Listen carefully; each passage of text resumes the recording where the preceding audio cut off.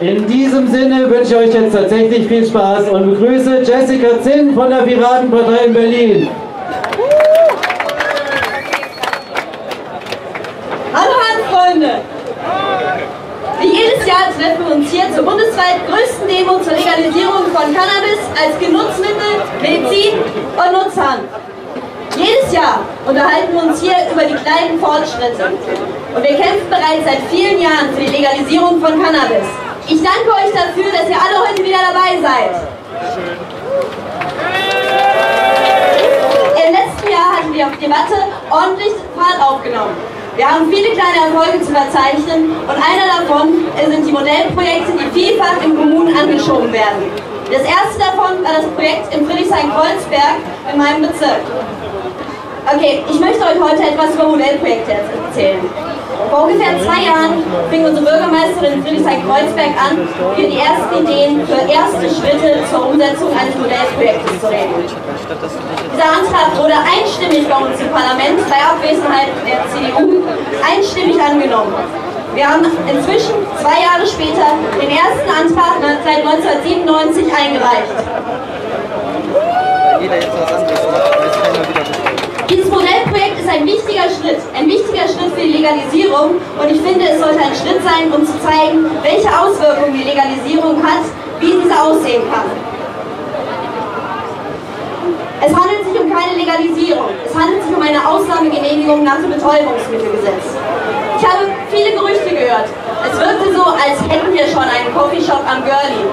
Und ich habe auch vielfach von euren Wünschen und Träumen gehört, wie so ein Coffeeshop auszusehen hat mit angenehmer Atmosphäre, Sofas, natürlich mit Fachpersonal.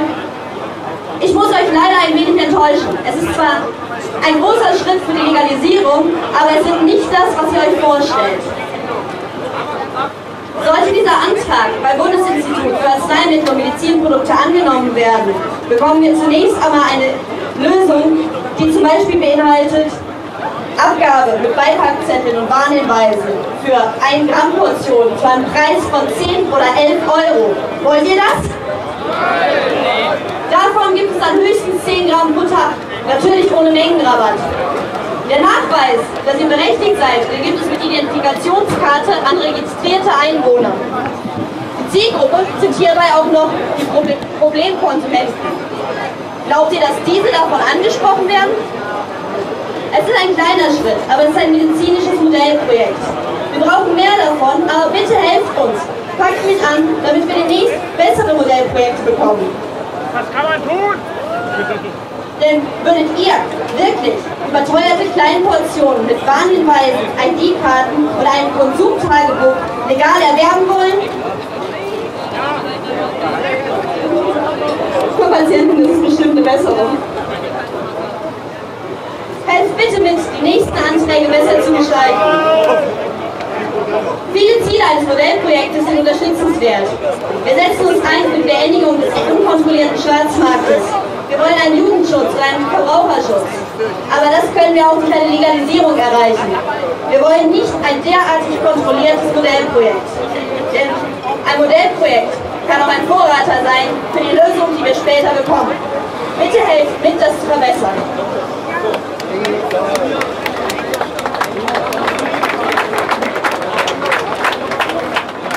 Die Piraten fordern eine komplette Legalisierung in einer Abgabe durch lizenzierte Abgabestellen, durch Fachgeschäfte und Fachpersonal. Diese geplante Abgabestelle wird aber kein gemütlicher Kiffershop, wie er hier in Friedrichshain-Kreuzberg geplant ist. In Friedrichshain-Kreuzberg wird zum Beispiel das Cannabis-Kontrollgesetz der Grünen eingebaut. Kontrollgesetz. Wie der Name schon sagt, es geht nicht um eine Freigabe, sondern um eine Kontrolle, um neuen Bürokratieaufwand, einen weiteren Strafenkatalog, wenn die Vorschriften missachtet werden. Diese Art der Abgabestelle mit Integration im Netzwerk der Suchthilfe ist nicht das, was wir wollen. Denn hier wird Hanf nicht so behandelt wie eine wertvolle, endlich zu legalisierende Pflanze, sondern wie eine stark gefährliche Droge. Diese Herangehensweise widerspricht vorhandenen wissenschaftlichen Erkenntnissen und ein Modellprojekt dieser Art gibt meiner Meinung nach auch keine für die Legalisierung aussagekräftigen Erkenntnisse. Wir brauchen keine Bevormundung.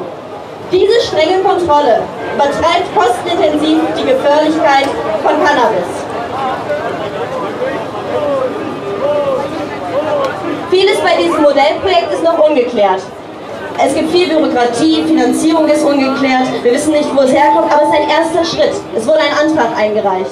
Und ich warte auf die vielen Kommunen, die dem nachgehen, die weiter folgen und die bessere Anträge ausarbeiten, bei denen es nicht so sehr um die Kontrolle und Bevormundung der Bürger, sondern um einen informierten Konsum geht. Ja, wir wollen kontrollierte Abgabe an Vorjährige. Wir wollen Verbraucherschutz, wir wollen Jugendschutz. Aber wir wollen keine Bevormundung.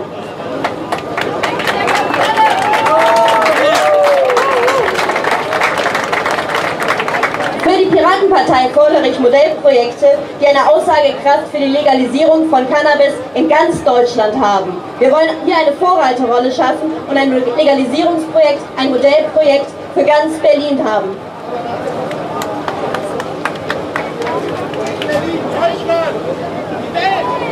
Deutschland als Abbild, ja, Berlin als Vorreiter für Deutschland. Wie sähe es in Deutschland aus? Die Piraten wünschen einen verantwortungsvollen Umgang mit Rausch- und Genussmitteln. Bevormundung widersprechen der Grundüberzeugung und unserem Verständnis einer mündigen Gesellschaft. Richtig!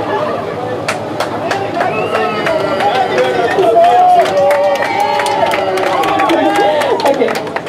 Modellprojekte sind nur kleine Schritte und sie sollten keine Vorbilder werden für eine restriktive, streng kontrollierte und sanktionierte Abgabe von Cannabis sondern sie sollten zur Legalisierung führen. Hierbei sollten wir auch die Auswirkungen einer Legalisierung für die verschiedenen weiteren Anwendungsmöglichkeiten der Handpflanze betrachten. Unser Motto heute ist Nutzt Hanf. Nutzt Hanf als relativ harmloses Genussmittel, als Medizin und als wertvolle, vielfältige Nutzpflanze. Für die Legalisierung von Cannabis. Nutzt Hanf. Ich danke euch, dass ihr da seid.